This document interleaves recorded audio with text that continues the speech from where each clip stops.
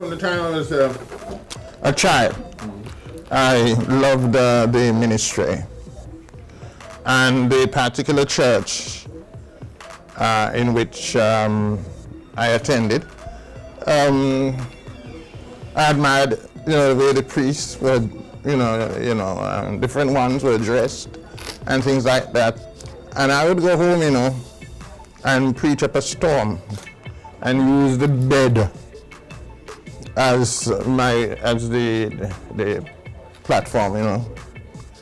And um, so it, the desire was always there, but I thought it was just a childish thing, and and and that I without without um, you know it, it would die, but it never died. But a friend of mine, he was a salvationist, and he knew um, that I felt called to the ministry. So when he went to Bible school, he came back and he said, um, uh, Dumas, you know, what about your desire to go to Bible school? You're not going? And I said, I ain't going. And he said, um, you're going to be like Jonah, running away from the work God has called you to do. And I tell you, the thing wouldn't leave me at all. And I went home and said, you mean I'm going to be like Jonah? So I, I gave up and decided to enter training for four years. The thing about it though, while I was um, in school, um, I had that desire to become a marriage counselor. I didn't fully understand. So I, but why? Why? Because I saw so many relationships, you know, so many marriages breaking up. So after I did my four years and graduated, I um, went to seminary and um, major in, in counseling. When I left seminary, I got a call from the editor's um, secretary and she asked me for an article for the Sunday Sun. I think the paper was called Daily News, but on that Sunday edition, they called it, called it Sunday Sun. She asked me for an article. I said, yeah, I'd be glad to give you one. I said, but I'll tell you what I can do. I can, I could do a, a column for you all. And she talked to her boss, who was Mr. Vint. And um, he was uh, he, he, was very happy about that. Invited me in. I submitted what I, what I, would, I had in mind, and the rest is history. Now, when that paper was closed, Hector Wynter. To see, I go way back. Hector Wynter invited me to come and, and to write uh, for the Star.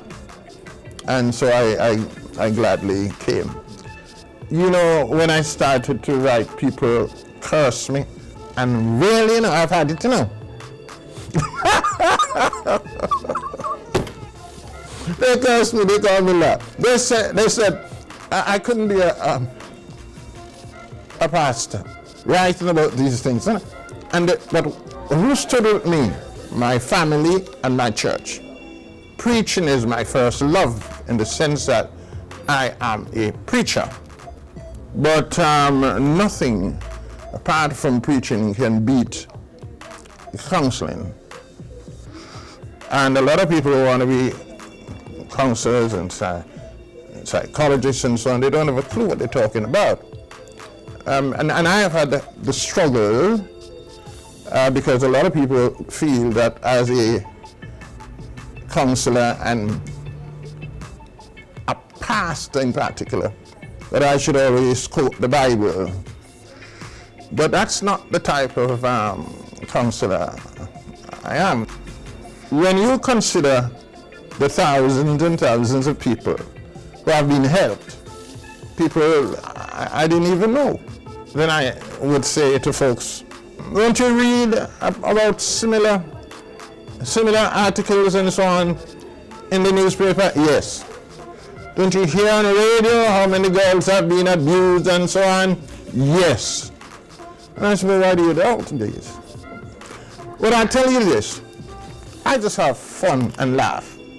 People have called me, especially on the Dear Pastor show, and have said to me that they have learned to read by reading my column.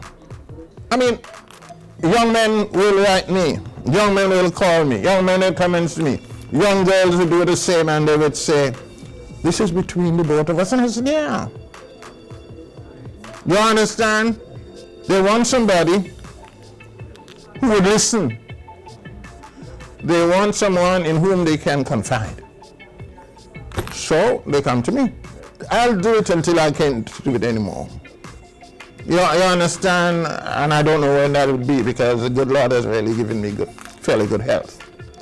Um, but I try to teach folks, you know what I mean, um, how to go about this thing. I was talking to a professor and um, he's teaching people how to counsel and so on. And he said, he told them, you want to know how to counsel? Read Dear Pastor. And so as to when I will quit, I don't know. If the, if the, if the Gleaner would allow me to write, I will write. I've never gotten fed up or tired of, of, doing this thing because it's a part of my Christian vocation. You know what I mean? That's how I look at it. It's just a part of it.